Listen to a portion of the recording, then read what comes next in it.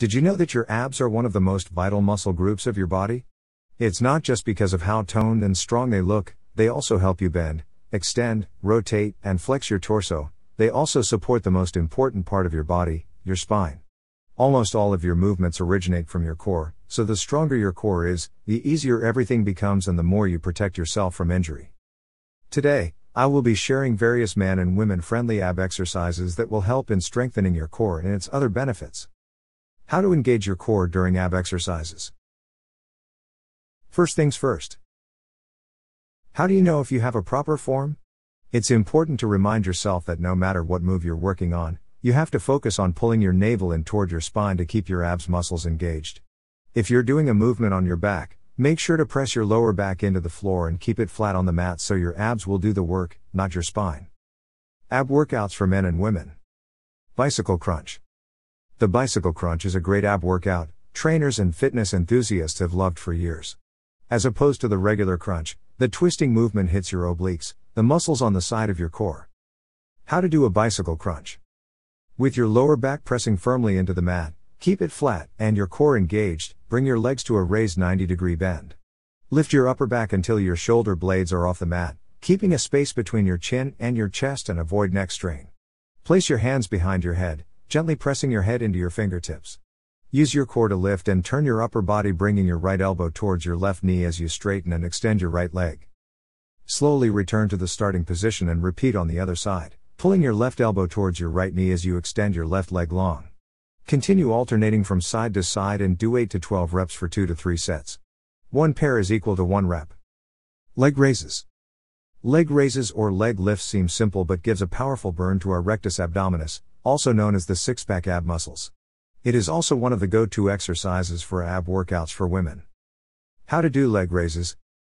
Lay flat on your mat, raise your legs so they're upright directly over your hips.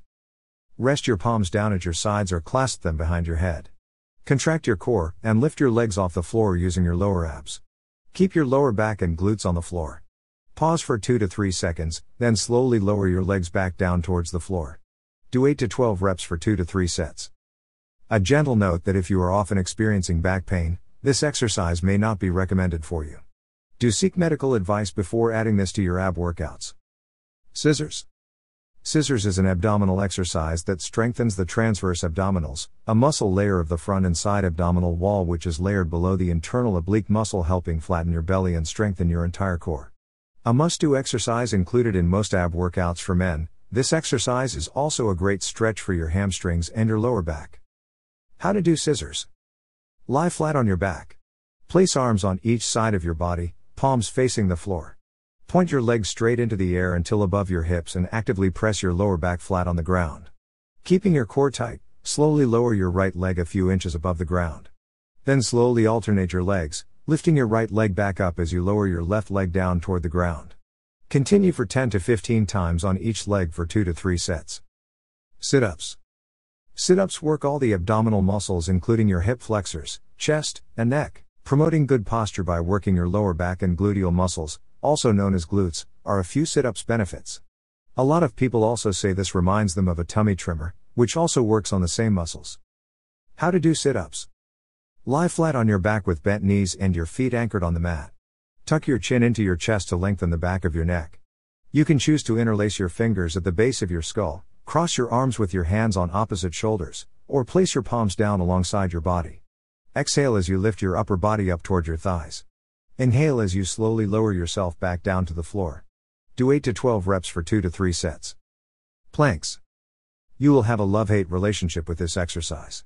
Love because it works the whole abdominal muscles, strengthening your core muscles from your pelvis to your shoulders. Hate it because it makes time longer, but worth it. The plank is achievable in a number of different variations, including basic plank, side plank, seesaw planks, and plank twists. Aside from working on your stability, all these variations have their own plank benefits.